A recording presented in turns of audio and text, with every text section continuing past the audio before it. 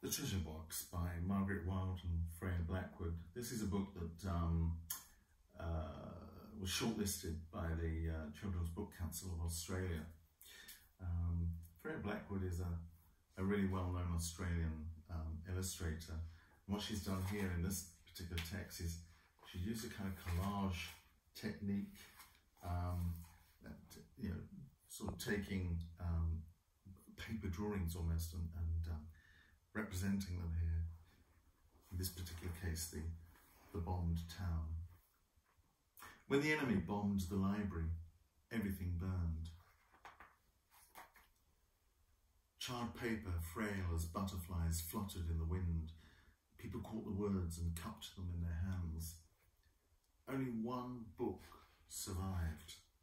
A book that Peter's father had taken home to study.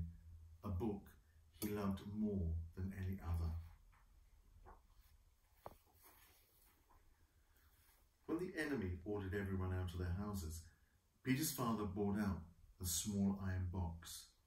This will keep our treasure safe, he said. But we don't have any treasure, said Peter. No rubies, no silver, no gold. His father wrapped the book in a thick cloth and put it in the box. This is a book about our people, about us, he said. It is rarer than rubies, more splendid than silver, greater than gold.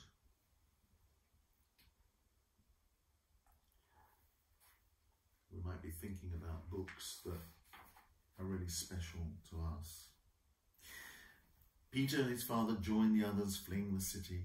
Behind them, their houses burned. You can see here that Freya Blackwood has taken little kind of cuttings from paper, uh, from, from text, and created the clouds and that plume of smoke uh, coming up from the, the town. For weeks they trudged through mud and rain. They slept at the side of the road, under hedges, in ditches, huddling together to keep warm. As the days went by, Peter's father became very ill. He whispered, You must be brave for both of us. Promise me you'll keep our treasure safe. I promise, said Peter, and he gripped his father's hand through the long night.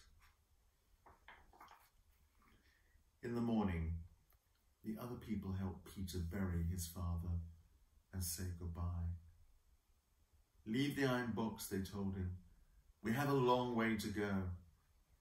But Peter, instead of leaving the box, he left his suitcase and held on to the box.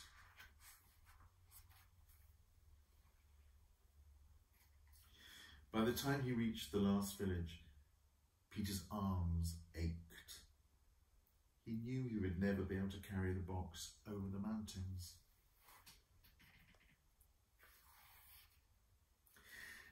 At the edge of the village was a cottage with an ancient linden tree. Peter chipped away at the frozen earth under the tree and buried the box. Here you'll be safe from bombs and fire. During the following years, as Peter grew from a boy to a man in a strange new country, he often thought about his father and the book he loved more than any other.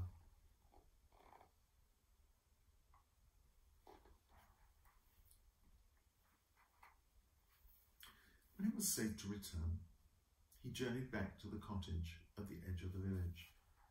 He saw a little girl playing in the garden. He told her about the treasure under the linden tree. She helped him dig up the iron box. Will I see rubies and silver and gold? asked the little girl. Peter opened the box. Oh, she said, it's only a book.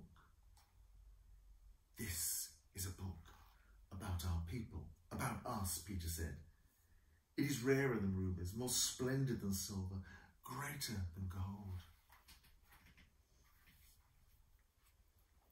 Peter took the iron box back to the city where he'd lived when he was young. There was now a new library with new books. He put the book back on the shelf where once again it could be found and read and loved. And I don't know if you know this, but in the ancient libraries, books were actually chained to the shelves. They were considered to be so precious. For example, the great university library in Timbuktu in the middle of the Sahara Desert. So books are a treasure.